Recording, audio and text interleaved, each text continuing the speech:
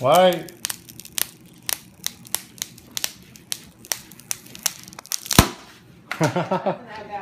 that wasn't that bad. It's already over.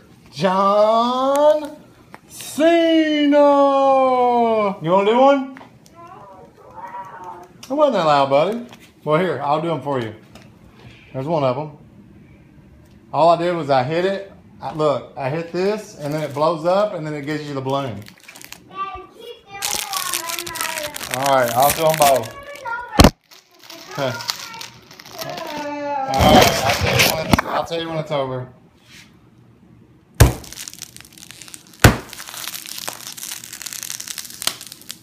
Yeah, that's loud. One more. John Cena. We got The Rock. And then we got John Cena. Not two John Cenas and a Rock.